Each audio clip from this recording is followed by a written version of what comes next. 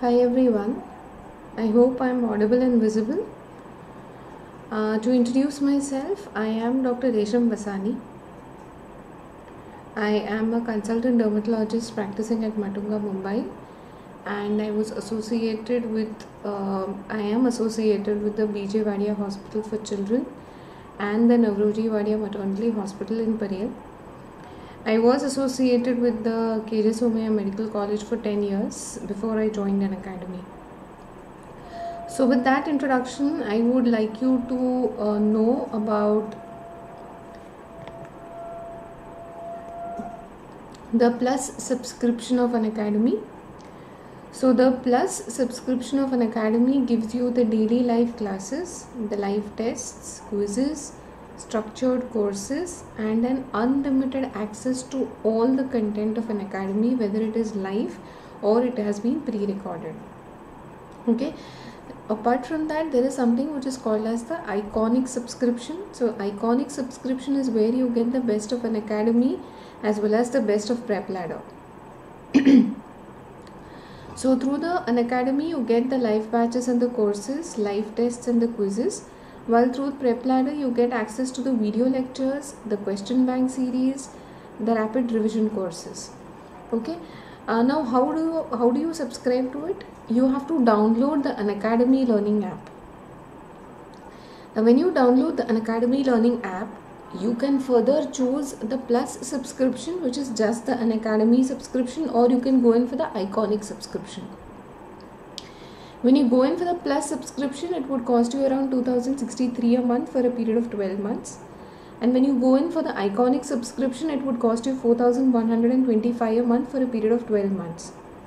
To gain an additional 10% off you need to use the code mentor that is m e n t o r okay also with that i would like you to know about the upcoming batches of Unacademy to tell you about the upcoming batches there is a focus batch for fmge uh, which has started off on 8th of march 2021 okay as you can see there are very erudite faculties on the panel. Okay and there will be an in-depth subject wise description with the doubt clearing sessions pdf notes for the sessions as well as interactive classes. There are free grand tests on the new and the updated pattern of NEET PG.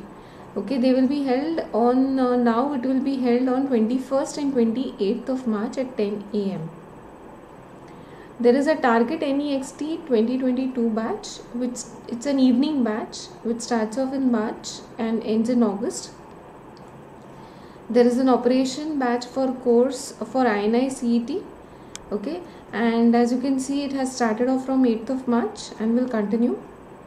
There is something which is called as Revisathon. Okay, so it's a free scholarship test series for medical PG. I think every one of you should appear for these tests. Uh, and when you do uh, appear for these tests and you get a good rank you will also get a scholarship okay? So you can use the code mentor to unlock the Unacademy free plan and take these tests free okay? With that let's begin. Uh, let's begin with our session for today uh, let's go to this question You have a 65 year old woman who presents with a 5 month history of proximal muscle weakness. She has had a past medical history of hypertension. She has had uh, well, uh, she is well controlled on medication. All her vital signs are within normal limits.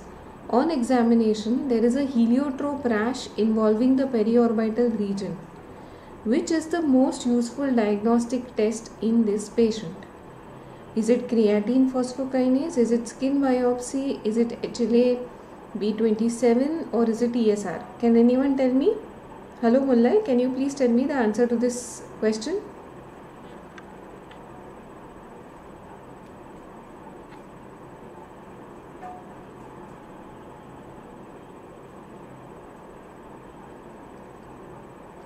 Anyone would want to answer this question?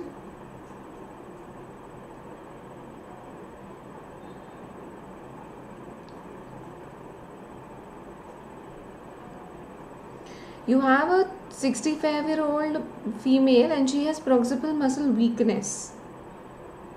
She has a heliotrope rash involving the periorbital region. Yes, Mulay, you are right. The correct answer is creatine phosphokinase.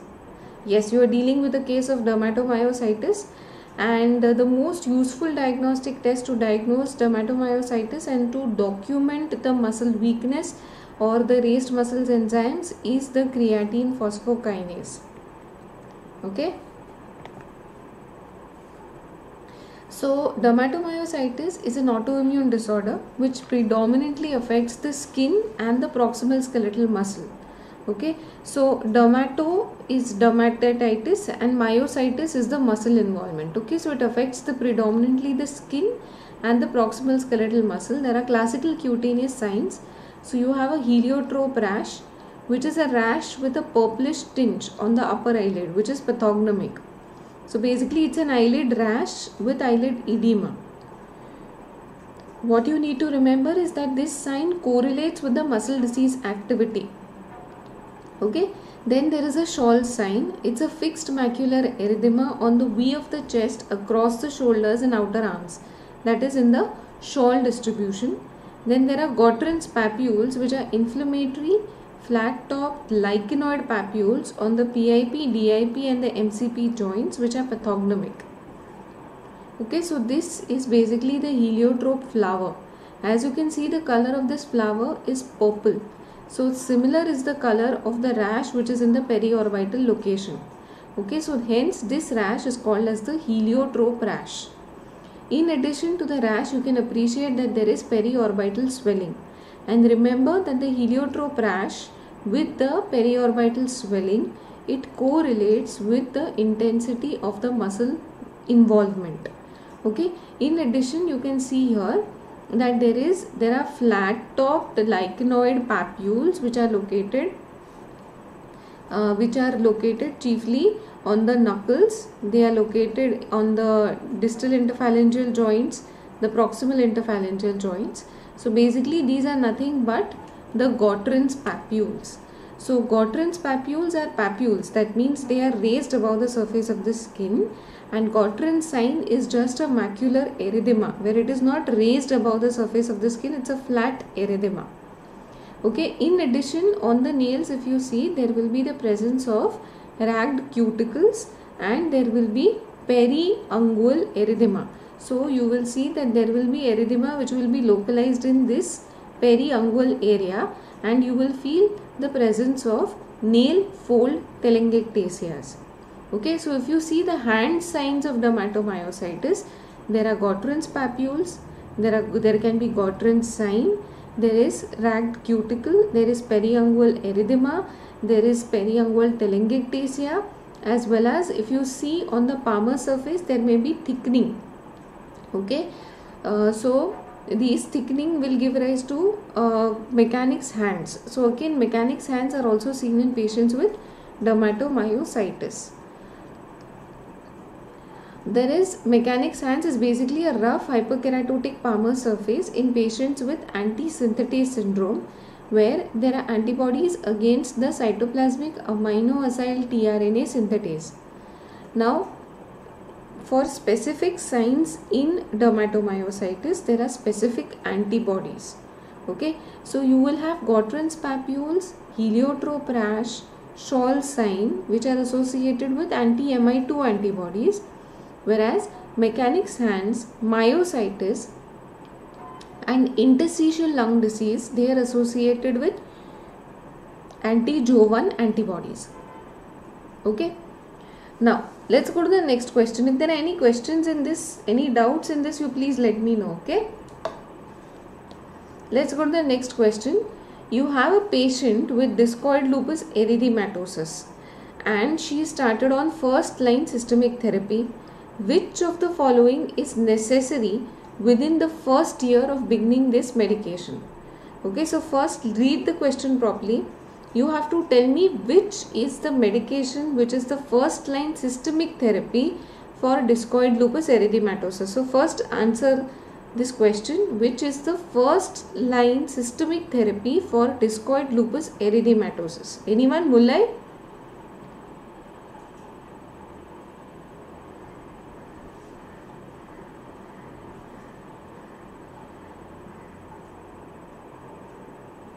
What is the first line systemic therapy for discoid lupus erythematosus?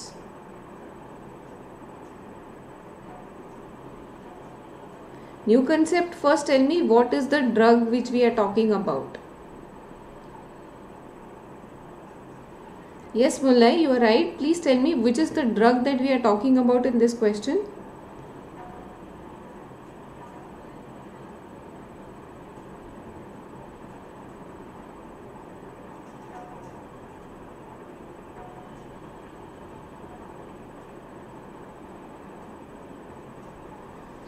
okay. The drug that we are talking about as the first line systemic therapy for discoid lupus erythematosus is chloroquine or hydroxychloroquine. Hydroxychloroquine is preferred over chloroquine because the incidence no no it's not steroid new concept it is hydroxychloroquine. Okay. So hydroxychloroquine uh, you would want to do a baseline retinal examination because what is the uh, if you have learned ophthalmology what is the involvement of the retina caused by chloroquine called as? Anyone? New new concept mullai what is the retinopathy named as? Any specific name given to the retinopathy? Which is caused by uh, antimalarials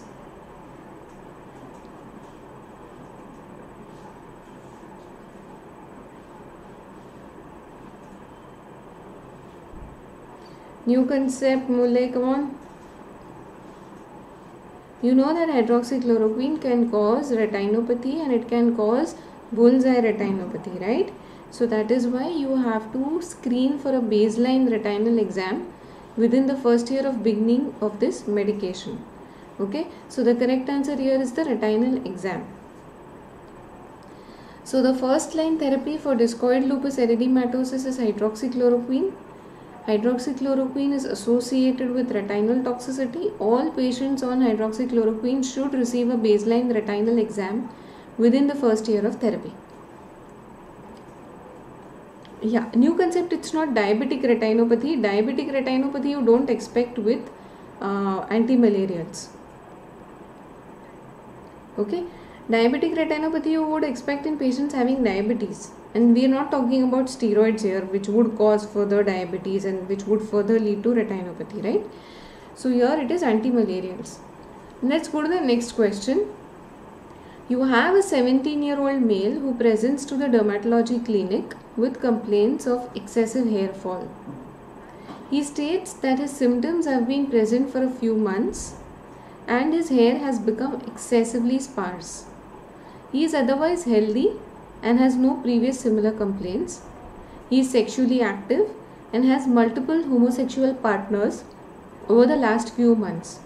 He is currently not on any medication. His scalp examination reveals multiple patchy areas of hair loss without scarring. His systemic examination reveals a faint maculopapular rash on the trunk and the extremities. His general physical examination reveals a mild generalized lymphadenopathy. His investigations reveal a WBC count of 7000, hemoglobin of 11, platelet of 22.5 lakhs, a CRP of 50 and serum creatinine of 0.8. His serological examination reveals anti-HCV negative, anti-HBs AG negative, anti-HIV negative, VDRL positive, ANA negative and RA factor negative. According to the scenario that is given to you, what is the diagnosis? Is it the cause for his hair loss? Is it discoid lupus erythematosus? Is it lichen planopilaris? Is it alopecia areata? Or is it secondary syphilis?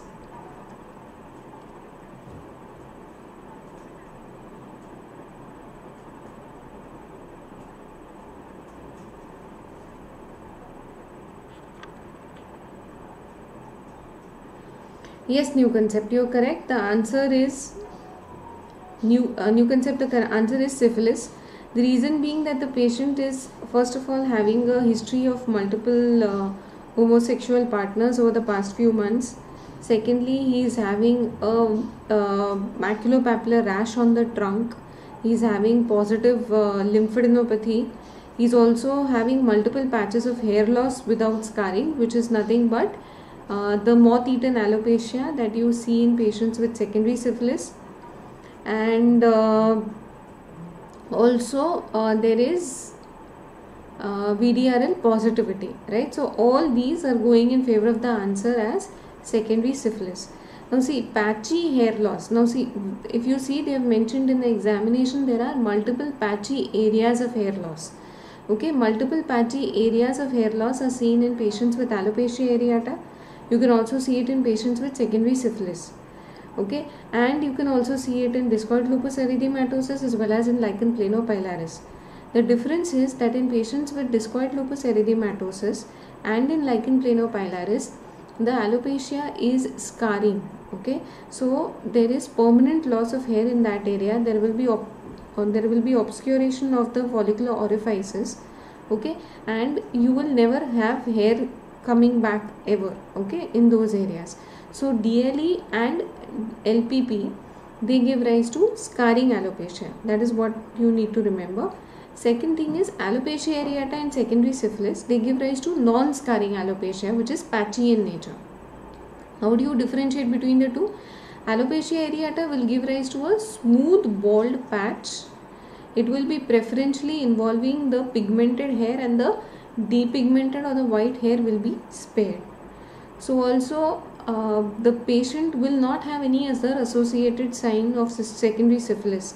Like in this patient there was a maculopapular rash. There was generalized lymphadenopathy. So that is not seen in alopecia areata per se.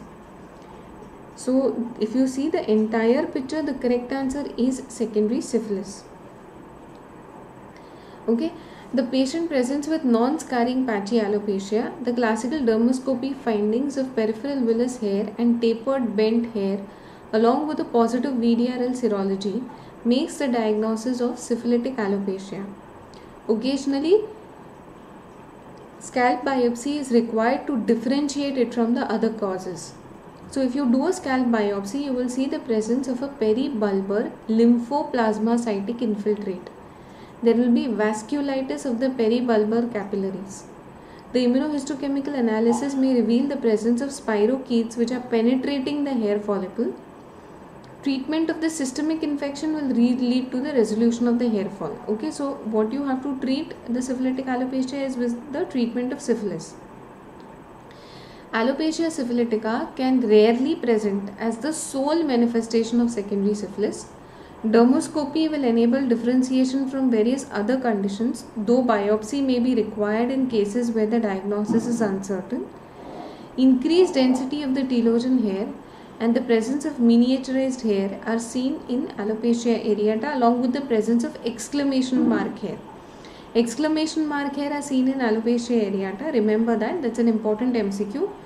Perifollicular inflammation with arthroconidia are present in tinea capitis which can be present which can present again with patchy hair loss mucinous perifollicular fibroplasia and destruction of the sebaceous glands is seen in lichen planopilaris which is an important differential diagnosis.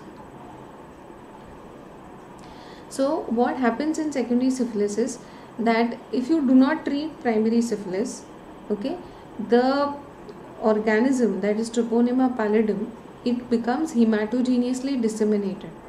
So when there is hematogenous dissemination of the spirochetes, there will be a rash, there will be condyloma lata, there is generalized lymphadenopathy as well as mucus patches. Condyloma lata are basically flat, pink, moist lesions which are extremely infectious and they are teeming with spirochetes which are seen in the perianal, perianal areas as well as in the genital areas of the patients with secondary syphilis. The rash can be polymorphous okay you will see that the rash can be anything it can be maculopapular it can be pustular it can be basic it cannot be it can be lichenoid it can be follicular it can be purpuric it can be erythema multiforme right okay so there can be any particular morphology for the rash in patients with secondary syphilis but you do not see bullous lesions okay So vesiculobullous lesions are not seen in the secondary stage of syphilis. This is something that you need to remember. You also need to remember that the only kind of syphilis where you see vesiculobullous lesions is early congenital syphilis. In early congenital syphilis, you have syphilitic pemphigus. So syphilitic pemphigus is nothing but the vesiculobullous lesions that occur in early congenital stage of syphilis. Okay. Uh, apart from that, a characteristic of the rash that you need to remember about secondary syphilis is that it is non-pruritic. Okay? So the rash is going to be non-pruritic. There are exceptions to this like the lichenoid and the follicular variants of secondary syphilis they can be pruritic. Also remember that there is something which is called as the Buschke-Ollendorff sign which is also called as the DDT so deep dermal tenderness is positive in patients with secondary syphilis. So this this is the kind of rash and this rash is typically going to involve the palms and the soles. And if you press these areas you will see the presence of deep dermal tenderness. Uh, one the question is pruritic? No the rash of secondary syphilis is not itchy. It's not pruritic. The only exceptions to this presentation is that the lichenoid variant of secondary syphilis and the follicular variant of secondary syphilis may be pruritic. Rest of the majority variants of secondary syphilis are not pruritic. So typically the rash of secondary syphilis is not pruritic. It is present on the palms and the soles and you have the deep dermal tenderness or the Buschke-Ollendorff sign is positive. Is that clear? Now, because there is hematogenous uh, dissemination, no new concept it's not necessary that every lesion for it to be itchy it needs to have pus formation okay so even though pustular lesions maculopapular lesions everything can be seen in patients with syphilis but the rash is essentially non-pruritic okay now maximum spirochetes can be cultured from the CNS at this stage. Why? Because there is hematogenous dissemination of the spirochetes, right? So when there is maximum dissemination, it can go into the organs. There is systemic dissemination. And maximum spirochetes can be cultured from the CNS. So you do a CNS, uh, CSF uh, staining for the spirochetes, you will find it to be positive. Also systemic involvement can occur at this stage where you can have gastritis, hepatitis, glomerulonephritis, proteinuria, acute meningitis, uveitis and periosteitis all can be seen at this stage. So this is what condyloma lata looks like. So condyloma lata they are flat cauliflower like masses on the moist skin like anus or groin. It is moist in appearance and it is teeming with spirochetes. Okay now please remember that you do not have to confuse condyloma lata with condyloma acuminata.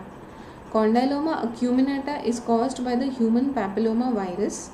The word acuminata means pointed. Acuminate means pointed so the lesions in condyloma acuminata they are verrucous that means they are wart like and they are pointed. Okay? And in cases of condyloma lata lata means flat. As you can see that the lesions of condyloma lata they are flat. Okay? They are moist and they are extremely infectious. If you take a thin paper and if you try to pass under a condyloma lata you will not be able to do so while you shall be able to do so in cases of condyloma acuminata. Okay? So this is nothing but a paper sign which helps to differentiate between condyloma lata and condyloma acuminata. So condyloma lata secondary syphilis caused by treponema pallidum while condyloma acuminata is hpv infection. Okay then inside the oral cavity of a patient with having secondary syphilis you will see the presence of snail track ulcers this is what a typical snail track ulcer would look like.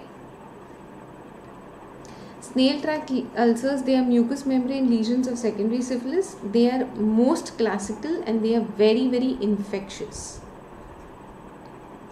This is the typical moth-eaten alopecia of secondary syphilis. The moth-eaten alopecia is non-scarring and uh, when you treat the syphilis, secondary syphilis, then you will have regain, I mean, or you will have the hair back. Okay, can anyone tell me what is the treatment for secondary syphilis? How will you treat a patient of secondary syphilis? Anyone?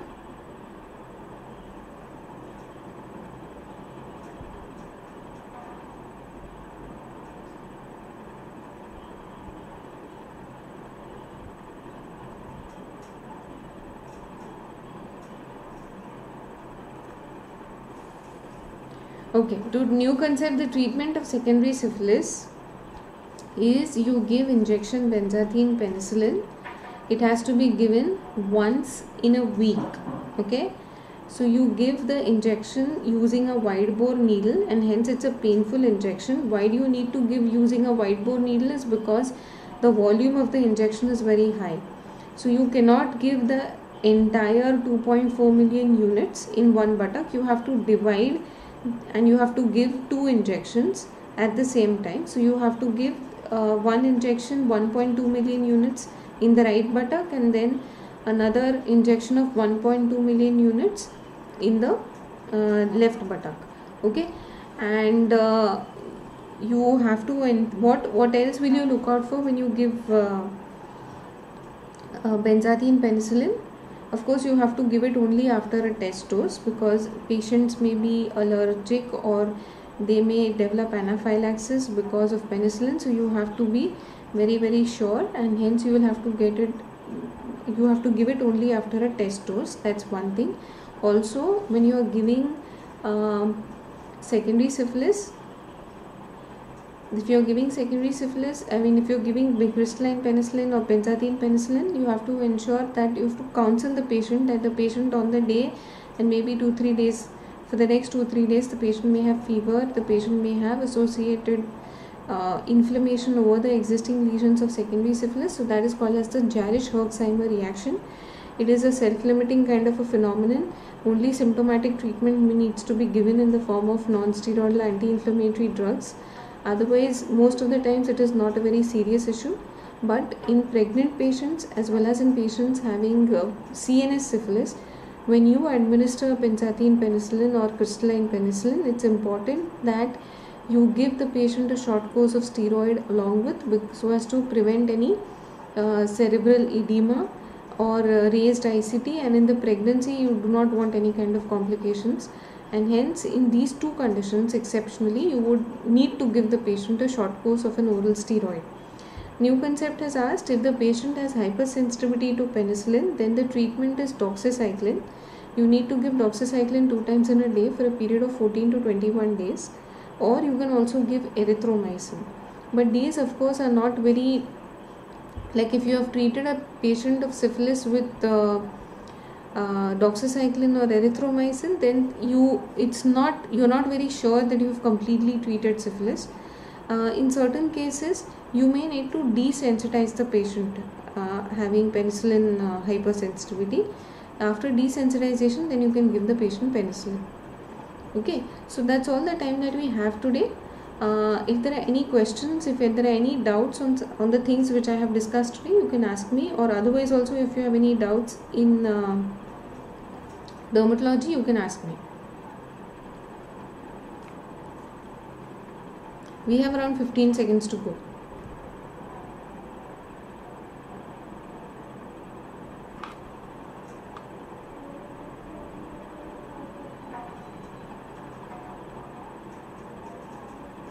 Well then i think uh, there are no questions. We end this session. Tomorrow i'll be live again. And the same time between uh, 10 to 10:30 so do not forget to log in uh, and uh, attend the lecture. Thank you very much for